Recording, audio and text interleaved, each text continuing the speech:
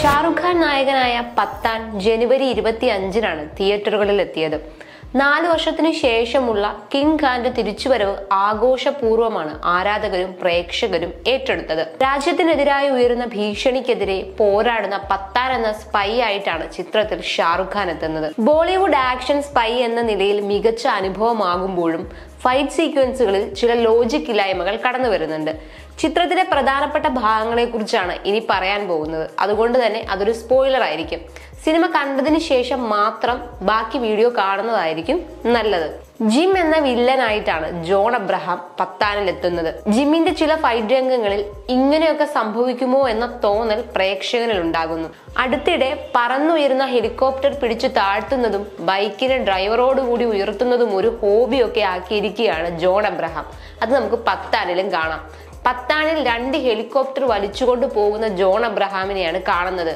അതും ഓടിക്കൊണ്ടിരിക്കുന്ന ട്രക്കിന്റെ മുകളിലൂടെ. ഇരുമ്പ് വടം ഉപയോഗിച്ച് പരസ്പരം ബന്ധിപ്പിച്ച് പറത്തുന്ന ഹെലികോപ്റ്ററുകളെ വടത്തിൽ നിന്ന് പിടിച്ചു മുന്നോട്ട് തള്ളി ട്രക്കിലെ കമ്പിയിൽ കൊരുത്തിടുകയാണ് ജോൺ അബ്രഹാം. ഒരു സാധാരണ മനുഷ്യനായ വില്ലൻ ഈ രംഗങ്ങളിൽ അമാനുഷികനായി മാറുകയാണ്. ഇത്രയും സംഭവങ്ങൾ നടന്നിട്ടും ആ ട്രക്ക് ഓടിച്ചിരുന്ന ഡ്രൈവർ എന്തുകൊണ്ട് അത് നിർത്തിയില്ല എന്നത് മറ്റൊരു ചോദ്യമാണ്. ദുബായ് പോലെ ഒരു നഗരത്തിൽ ഇത്രയും വലിയ സംഭവം നടന്നിട്ടും അവിടുത്തെ നിയമ സംവിധാനങ്ങളുടെ ഇടപെടലും കാണുന്നില്ല. ദുബായ് പോലൊരു സ്ഥലത്തെ നഗരമധ്യത്തിൽ പട്ടാപ്പകൽ ഒരു കാർ ഇടിച്ചു മറിച്ച് വലിയ മാസ്ക് അണിഞ്ഞ് ആയുധങ്ങളുമായി വില്ലൻ നടന്നു വരുമ്പോൾ അവിടെ ഒറ്റ മനുഷ്യർ പോലും ഇല്ലാത്തതും മറ്റൊരു ലോജിക്കില്ലായ്മയാണ് സിനിമയിൽ ലോജിക്ക് നോക്കിയിട്ട് കാര്യമില്ല എന്ന് ന്യായീകരിക്കാമെങ്കിലും അതിനും ഒരു പരിധിയുണ്ട്.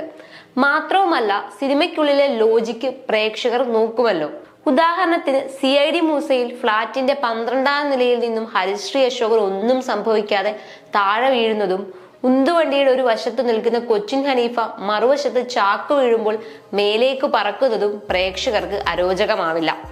അത്രയേ ഉള്ളൂ ആ ചിത്രത്തിന്റെ ലോജിക് സിനിമ പ്രേക്ഷകനോട് സംവദിക്കുന്ന ടോണാണത് എന്നാൽ അടുത്തിടെ ഇറങ്ങിയ കോമഡി ചിത്രമായ ജാനേ മന്നിൽ അങ്ങനെ ഒരു രംഗം വന്നാൽ പ്രേക്ഷകർ അത് അംഗീകരിക്കില്ല.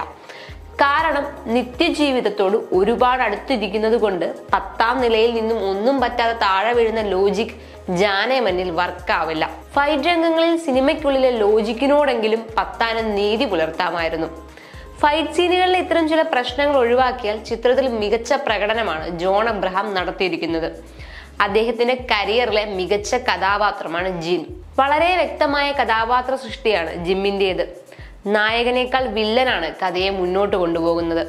കഥാപാത്രത്തോട് ഏറ്റവും ചേർന്ന് നിൽക്കുന്ന ഡയലോഗുകളാണ് ജോൺ അബ്രഹാമിന് നൽകിയിരിക്കുന്നതും. പത്താനിലെ ഫൈറ്റ് സീക്വൻസുകളെ കുറിച്ച് നിങ്ങളുടെ അഭിപ്രായം എന്താണ്? കമന്റിൽ പറയൂ.